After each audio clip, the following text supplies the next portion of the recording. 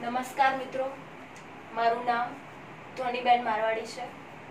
હું શ્રી સરદાર પટેલ અને સ્વામી વિવેકાનંદ હાઈસ્કૂલ મણિનગર, અમદાવાદ ખાતે ધોરણ અગિયાર અને બારમાં વાણિજ્ય વ્યવસ્થા અને સંચાલન વિષય શીખવાડું છું. તો મિત્રો, આજે આપણે ધોરણ બારમાં પ્રથમ પ્રકરણ, જેનું નામ છે સંચાલનનું સ્વરૂપ અને મહત્વ. તેના વિશે શીખીશું. મિત્રો, તમે ધોરણ અગિયારમાં ધંધાકીય વ્યવસ્થાના સ્વરૂપો વિશે પૂરેપૂરી જાણકારી મેળવી ચૂક્યા છો. એના વિશે થોડી વાત કરીએ આપણે.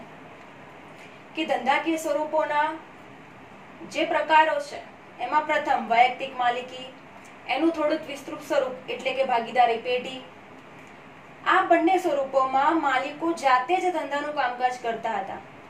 પણ જેમ જેમ ધંધાકીય પ્રવૃત્તિઓનું કદ વધવા માંડ્યું, તેમ તેના સ્વરૂપમાં ફેરફાર થતો ગયો અને અંતે તે કંપની સ્વરૂપમાં ફેરવાયું. કંપની સ્વરૂપમાં જે ફાયદાઓ છે આપણને ખ્યાલ છે જ, તમે ભણીને આવ્યા છો કે જેમાં મૂડી સરળતાથી મેળવી શકાય છે એ પણ મોટા પ્રમાણમાં. મૂડી વધારે હોવાથી બીજા ઘણા બધા લાભ આપણે મેળવી શકીએ છીએ. જેમ કે નિષ્ણાતોનો લાભ મેળવી શકીએ છીએ મોટા કદના જે પણ લાભ આપણને મળી શકતા હોય કંપની સ્વરૂપમાં મળે છે. આ પરિસ્થિતિમાં આપણે ધંધાકીય એકમોમાં વિવિધ પ્રકારના નિર્ણયો લેનાર અને તેનો અસરકારક અમલ કરનાર તાલીમ પામેલ, અનુભવી અને નિષ્ણાત વર્ગની જરૂર પડે છે. એટલે કે જે પણ આપણે કામગીરી કરીએ છીએ, તે તમામ કાર્ય માટે જેટલા પણ કાર્યો આપણે ધ્યાનમાં લઈએ છીએ દાખલા તરીકે આયોજન છે, માર્ગદર્શન આપીએ, સંકલન કરીએ દરેક કાર્યનું, દેખરેખ રાખીએ છીએ, અંકુશ રાખીએ છીએ કે નક્કી કર્યા પ્રમાણે કામ થાય છે કે નહીં. તો આ તમામ કાર્યોને સાદી ભાષામાં આપણે સંચાલન તરીકે ઓળખી શકીએ. મિત્રો, હવે આપણે સંચાલનના અર્થ તરફ જઈએ છીએ કે સંચાલનની સંચાલન શાસ્ત્રી ઘણી બધી વ્યાખ્યાઓ આપી, જેમાં સૌથી અગત્યની વ્યાખ્યાઓ. એ આપ જોઈ શકો છો. જેમાં પ્રથમ છે, કોન્સ અને ઓડોલલ. જેણે વ્યાખ્યા આપી છે સંચાલનની કે સંચાલન એટલે અન્ય વ્યક્તિઓ પાસેથી કામ લેવાની કળા. સંચાલન એટલે અન્ય વ્યક્તિઓ પાસેથી કામ લેવાની કળા. મિત્રો, આ પ્રથમ વ્યાખ્યા છે તમારી, કે જે સૌથી સહેલી છે. જે તમે બોર્ડ એક્ઝામ માટે તૈયારી કરી શકો એમ છે. કોન્સ અને ઓર્ડરલના મતે. અન્ય વ્યક્તિઓ પાસેથી કામ લેવાની જે કળા છે દાખલા તરીકે આપણે કોઈ પણ કામ કઢાવવું છે અન્ય વ્યક્તિઓ પાસેથી, તો તમારી પાસે એક આવડત આંતરસૂઝ હોવી જરૂરી છે. તો જ તમે અન્ય વ્યક્તિ પાસેથી કામ લઈ શકો છો. તો આ જે કળા છે, તેને આપણે સંચાલન તરીકે ઓળખીશું. ત્યારબાદ મિત્રો, લિવિંગસ્ટન. એમણે જે વ્યાખ્યા આપી છે, એમાં એવું કહે છે કે જેમ બને ઓછામાં ઓછા ખર્ચે અને સમયે ઉપલબ્ધ સાધન સગવડોનો શ્રેષ્ઠ ઉપયોગ કરીને એકમના નિર્ધારિત ધ્યેયને સિદ્ધ કરવાના કાર્યને સંચાલન કહેવાય. ઓછામાં ઓછા ખર્ચે મિત્રો, જેમ બને એમ ખર્ચ ઓછો કરવાનો અને જેમ બને એમ સમય પણ ઓછો ઉપયોગ કરવાનો કે જે પણ તમારી પાસે ઉપલબ્ધ સાધન સગવડો છે. મિત્રો, આપણે ઇકોનોમિક્સમાં ભણીએ છીએ, આપણને ખ્યાલ છે જ કે તમારી પાસે અસંખ્ય અમર્યાદિત જરૂરિયાતો છે અને સામે આપણી પાસે મર્યાદિત સાધનો છે. તો જેટલી પણ જરૂરિયાતો છે એ સંતોષવા માટે આપણે બધા જ સાધનોનો મહત્તમ ઉપયોગ કરીશું. એ જ રીતે ઉપલબ્ધ સાધન સગવડોનો શ્રેષ્ઠ ઉપયોગ કરીને એકમના જે પણ આપણે ધ્યેય નક્કી કરેલા છે, જે પણ આપણા હેતુ છે, એ પૂર્ણ કરવાનું કાર્ય એટલે કે સંચાલન. મિત્રો, ત્યારબાદ ડોક્ટર જ્યોર્જ ટેરીના મતે એમણે જે વ્યાખ્યા આપી છે, એ સિક્સ એમની વ્યાખ્યા તરીકે પણ ઓળખાય છે. આ સિક્સ એમ એટલે પ્રથમ છે માણસો માણસો એટલે કે મેન ત્યારબાદ યંત્રો યંત્રો એટલે કે મશીનરીઝ ત્યારબાદ સાધનો સાધનો એટલે કે મટીરિયલ્સ ત્યારબાદ પદ્ધતિ પદ્ધતિ એટલે કે મેથડ્સ નાણું નાણું એટલે કે મની ત્યારબાદ બજાર બજાર એટલે કે માર્કેટ આ સિક્સ એમની વ્યાખ્યા તરીકે પણ ઓળખાય છે. જેમાં એવું કહે છે કે સંચાલન એવી પ્રવૃત્તિ છે કે જેમાં માણસો, યંત્રો, સાધનો, પદ્ધતિ, નાણું અને બજારનું આયોજન કરવાનું છે અને તેના પર અંકુશ રાખવાનું છે. એટલે કે જેટલા પણ માનવ પ્રયત્નો છે, ધ્યેય સિદ્ધ કરવા માટેના એ તમામ પ્રયત્નોને નેતાગીરી, સંકલન અને માર્ગદર્શન પૂરું પાડવું એટલે સંચાલન.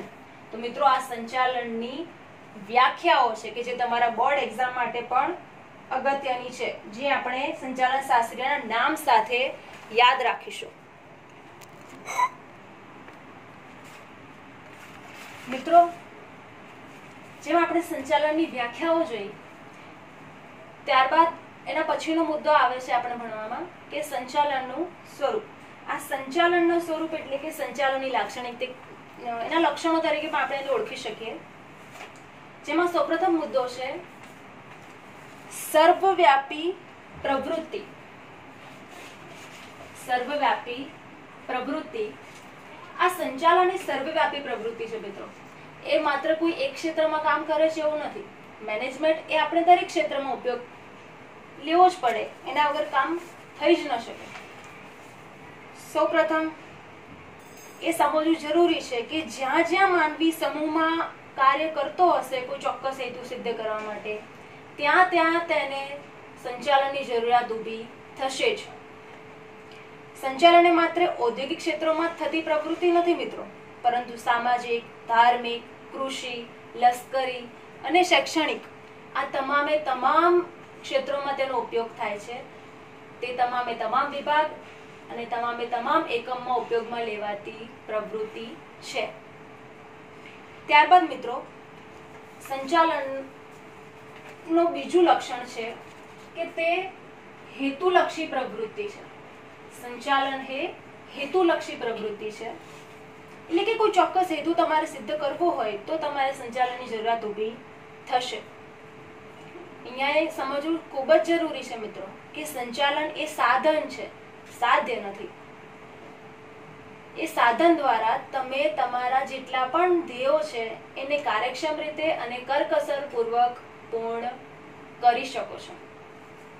ત્યારબાદ મિત્રો, સંચાલનનું ત્રીજું સ્વરૂપ છે સોરી સંચાલનનું ત્રીજું લક્ષણ છે જૂથ પ્રવૃત્તિ. સંચાલન એ જૂથ પ્રવૃત્તિ છે મિત્રો, કે જ્યારે બે કે તેથી વધુ વ્યક્તિઓ કામ કરતી હોય ત્યારે સંચાલનની જરૂરિયાત ઊભી થાય એ સિવાય સંચાલનની ખાસ કંઈ જરૂર પડે નહીં. જ્યારે એક જ વ્યક્તિ કામ કરતો હોય તો દરેક કાર્ય તેણે જાતે જ કરવાના છે. હા, એને આયોજન જરૂર કરવું પડશે. પણ એનું વિસ્તૃત સ્વરૂપ, એટલે કે જ્યારે બે કે તેથી વધુ વ્યક્તિઓ કામ કરતી હશે, ત્યારે ખાસ સંચાલનના દરેકે દરેક કાર્યનો આપણે ઉપયોગ કરવાનો રહેશે. ત્યારબાદ મિત્રો, સંચાલન એ સતત ચાલતી પ્રવૃત્તિ છે. સંચાલન એ સતત ચાલતી પ્રવૃત્તિ છે. અહીંયા એવું કહેવા માંગે છે મિત્રો કે સંચાલન એટલે કે એકવાર સંચાલન કરીને મૂકી દીધું એવું હોતું નથી. સંચાલન એ ત્રણ પ્રકારોનું એક ચક્ર છે કે જેમાં સૌપ્રથમ આપણે ધ્યેય નિશ્ચિત કરીએ છીએ, ત્યારબાદ એ ધ્યેયને પૂર્ણ કરીએ છીએ, ત્યારબાદ ફરીથી એક નવું ધ્યેય આપણે નિશ્ચિત કરીએ છીએ. આ એક ચક્ર છે જે સતત ચાલુ ને ચાલુ રહે છે. દાખલા તરીકે મિત્રો, કોઈ કાર બનાવતી કંપની હોય, તો એ દાખલા તરીકે પાંચ પાંચસો એકમોનું ઉત્પાદન કરવાનું નક્કી કરે છે. એ પાંચસો કાર બનાવી લે, ત્યારબાદ શું એ કંપની બંધ કરી દેશે? ના મિત્રો. એ નવું એક ધ્યેય સ્થાપિત કરશે અને એ ધ્યેયને સિદ્ધ કરવા માટેની કામગીરી આગળ વધારશે. એટલે કહી શકાય કે સંચાલન એ સતત ચાલુ ને ચાલુ રહેતી પ્રવૃત્તિ છે. ત્યારબાદ મિત્રો, સંચાલન એ માનવીય પ્રવૃત્તિ છે. સંચાલન એ માનવીય પ્રવૃત્તિ છે. એટલે એવું કહી શકાય કે સંચાલનમાં કેન્દ્ર સ્થાને માનવી છે. જ્યારે સંચાલન માનવી માટે થતું હોય અને માનવી દ્વારા થતું હોય, તો એ માનવી કેન્દ્ર સ્થાને છે એવું કહી શકાય. તમે ઉત્પાદન માટેના તમામે તમામ સાધનો મટીરિયલ્સ મશીનરી ટેકનોલોજી બધું જ વસાવો પણ જો ત્યાં માનવી ન હોય, તો તમે ધ્યેય સિદ્ધ કરી શકવાના નથી. એટલે એવું કહી શકાય મિત્રો કે સંચાલનમાં માનવી કેન્દ્ર સ્થાને છે અને તે માણસ માટે માણસ દ્વારા થતી માનવીય પ્રવૃત્તિ છે. અને સંચાલનને સર્વે આપી હોવા છતાં તે માનવજાતને લગતી પ્રવૃત્તિઓ પૂરતું મર્યાદિત છે. એટલે કહી શકાય કે તે માનવીય પ્રવૃત્તિ છે. ત્યારબાદ મિત્રો, સંચાલન એ નિર્ણય પ્રક્રિયા છે. સંચાલન એ નિર્ણય પ્રક્રિયા છે મિત્રો. તેમાં તમારે સતત નિર્ણયો લેતા રહેવું પડે છે. સંચાલન કરતા સંચાલકે સતત સતત નિર્ણયો લેતા રહેવું પડે. નિર્ણય લીધા વગર કોઈ કાર્ય થઈ શકતું નથી. અને નિર્ણય થયા પછી પણ સંચાલકો તેનો અમલ થાય તે અંગેની કાર્યવાહી કરવી તેમના માટે જરૂરી છે. ત્યારબાદ મિત્રો આ સૌથી અગત્યની બાબત છે તમારા બોર્ડ એક્ઝામ માટે કે સંચાલન એ વિજ્ઞાન, કળા અને વ્યવસાય છે. સંચાલન એ વિજ્ઞાન, કળા અને વ્યવસાય છે. મિત્રો, જેમ વિજ્ઞાનમાં ચોક્કસ નિયમો અને સિદ્ધાંતો હોય છે, તેવી જ રીતે સંચાલનને પણ પોતાના નિયમો અને સિદ્ધાંતો છે. તેથી કેટલાક લેખકો સંચાલનને વિજ્ઞાન તરીકે પણ ઓળખાવે છે. સંચાલનમાં માનવી પરિ, માનવીનું પરિબળ અગત્યનું હોવાથી, તમારે માનવી પાસેથી કામ લેવાનું હોવાથી, સંચાલક પાસે અંગત આવડત, બુદ્ધિ, ચતુરાઈ આંતરસૂઝ વગેરે હોવા જરૂરી છે. આ હોય તો જ તમે સામાન્ય વ્યક્તિ પાસેથી કામ કઢાવી શકો છો, તમારા ધ્યેય સિદ્ધ કરી શકો છો. એટલે તેને લેખકો કળા તરીકે પણ ઓળખાવે છે. ત્યારબાદ મિત્રો, સંચાલન એ વ્યવસાય પણ છે.